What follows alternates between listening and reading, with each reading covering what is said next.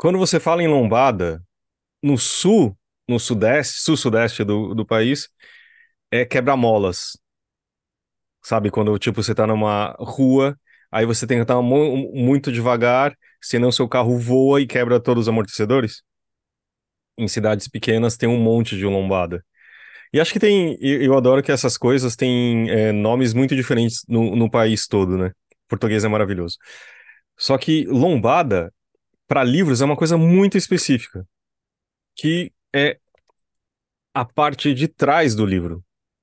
É a parte que você vê quando o livro está na sua prateleira, na sua biblioteca. Você tem a posição em espelho, livreiros saberão, que tipo dá mais destaque pro livro, que ele aparece a capa bonita, linda. Só que a maior parte do livro ele fica na lateral da lombada, né?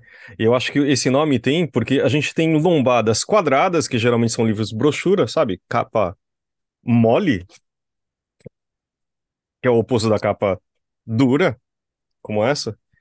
E tipo, e a, e a capa dura, ele tem um- uma leve curvatura, que acho que tem que mais a ver com lombada.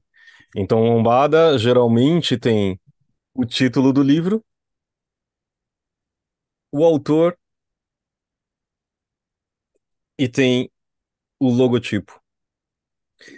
E o que é também outra coisa diferente é que depende da editora, você tem duas posições de lombada. A ordem de, de, de lombada, que é de cima para baixo, ou de baixo para cima, eu sei que tem ah, é a coisa francesa, eu, barra europeia e a americana. Tem gente que fala que o certo é quando a capa, tá vendo, ó, tá do lado certo e a lombada também, então você coloca nessa posição e a lombada tá certa, ou certa entre aspas, porque não existe certo, ou se, se aqui não, tá ao contrário. Então, pessoas com toque falam assim, mas tem editoras que colocam do lado errado, por que que não há uma padronização? Jamais saberemos.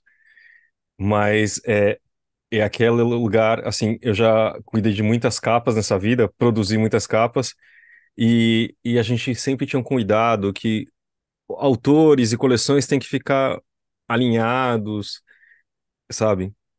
Só que nem sempre a gráfica consegue, e às vezes dá uma subidinha em um, em outro, mas lombadas são o jeito que a gente vê os livros na sua vida em nossas prateleiras e, e pretensas bibliotecas.